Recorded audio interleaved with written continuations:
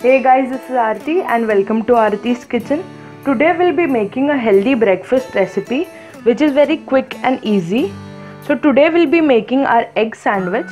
For it we'll require 4 hard boiled eggs. We'll chop the eggs into small pieces.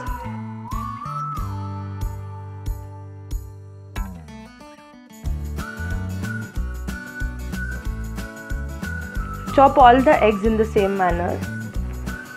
This is a very quick recipe which can be made in a jiffy and which do not need a lot of ingredients. Run a knife through our eggs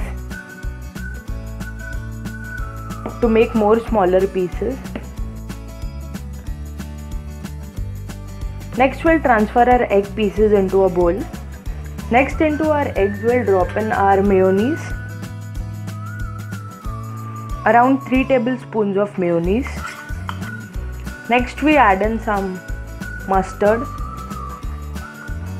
This is optional but a combination of mustard and mayo will go a best so we are using mustard here. Next we'll add in some salt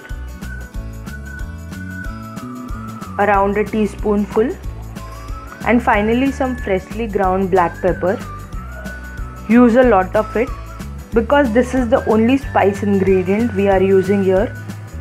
Now we'll mix it all well together and prepare our filling for our egg sandwich.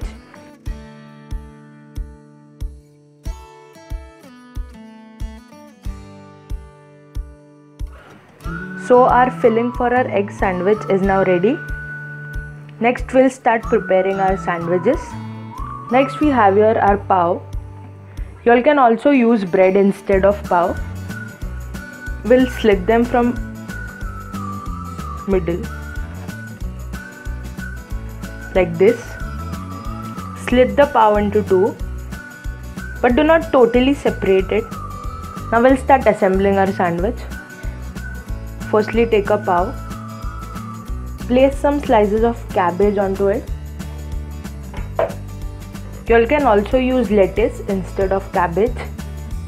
Next we add in our egg filling.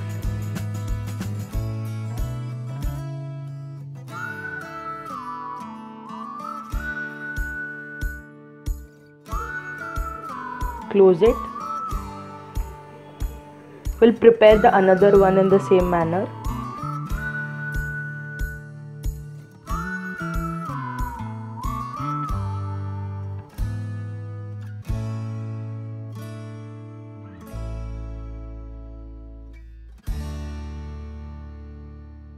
So guys our egg sandwich is ready now and next we'll serve it.